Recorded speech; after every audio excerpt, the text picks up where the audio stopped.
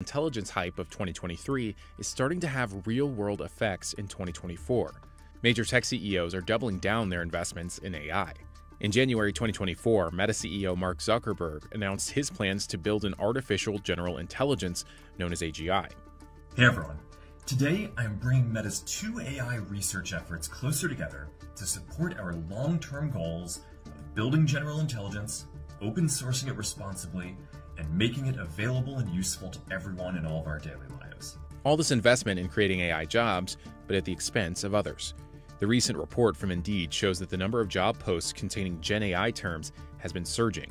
The new growth strategy and where all the investment is going is to AI. I guess you can kind of just read the tea leaves, right? So if you're in tech, it's probably smart to get some AI experience or move into the space quickly as possible because that's where all the growth is. And that's where all the new jobs are going to be. Sentiment or takeaway here is simply this is where all the investment is going. Like I'll give you an example. I'll show you an example really quickly.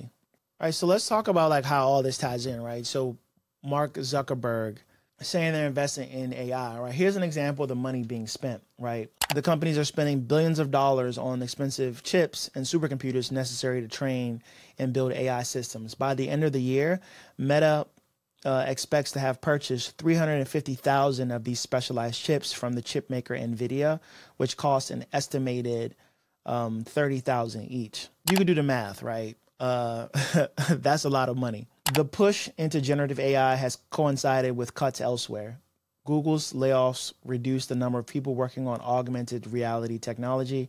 Meta, which laid off nearly 20,000 people last year, has been cutting some of its program managers who oversee different projects and are responsible for keeping teams on schedule. Basic takeaway there is relatively straightforward, which is investment is going from leveraging employees for growth and now is focused on building out AI strategy and using looking at AI business cases in order to continue on the growth path as well as maintain like profit profitability.